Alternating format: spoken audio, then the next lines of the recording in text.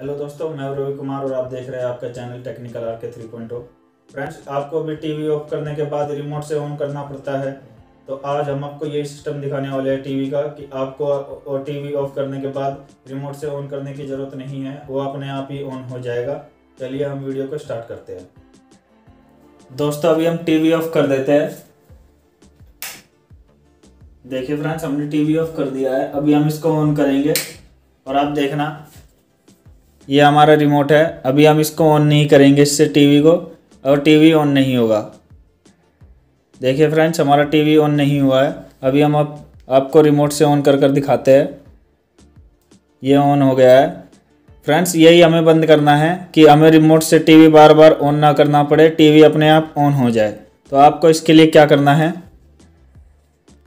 आपको रिमोट का menu button दबाना है। आपको रिमोट का मेन्यू बटन दबाना है, उसके बाद डबल वन फोर सेवन दबाना है। अभी हम दिखाते हैं फ्रेंड्स हमने ये दबाया मेन्यू बटन और डबल वन फोर सेवन आप देख सकते हैं फ्रेंड्स हमारे सामने एक लिस्ट आ गई है।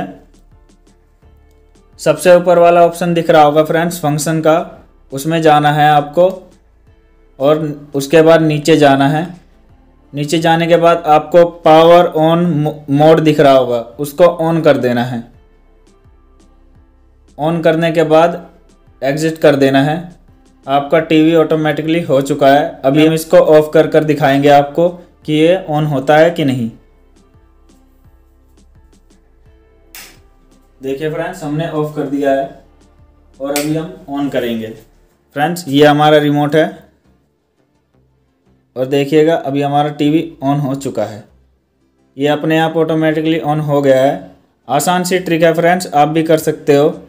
फ्रेंड्स अगर हमारी वीडियो आपको पसंद आई हो तो चैनल को सब्सक्राइब करिएगा, वीडियो को लाइक करिएगा।